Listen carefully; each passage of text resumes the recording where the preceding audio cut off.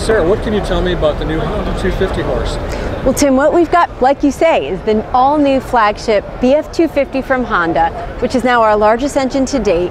And what you're looking at actually with the cowling off is pretty rare for us at Honda. This is an all new block that's a 3.6 liter.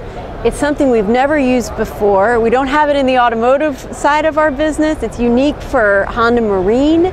Um, it features a lot of new technologies that we've never had before and some that we have used but we've refined a little bit. At Honda Marine, we made an all new lower gear case for our new BF250 flagship for several reasons. First of all, this engine was designed with the Coast Guard in mind. So they use a very, very robust, extreme duty cycle that we needed to make sure we would have a robust enough gear case for. So we did a few things. We changed the gear ratios, make sure that would be appropriate for an engine this size and this powerful. We also worked with a new steel supplier to make sure we had high tensile steel that would again support this engine.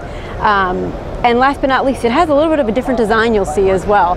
Uh, just again, just for uh, best support and to make sure it was as heavy duty as we would need for the applications it'll be used in.